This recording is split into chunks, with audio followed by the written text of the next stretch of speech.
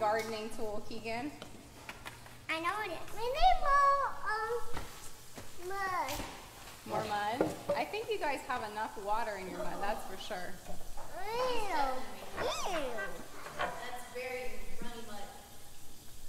Sticky water. Right You know, it's hard to scoop it because you guys have so much water. We're going to use more mud. We're going to have a really spongy cleanup today.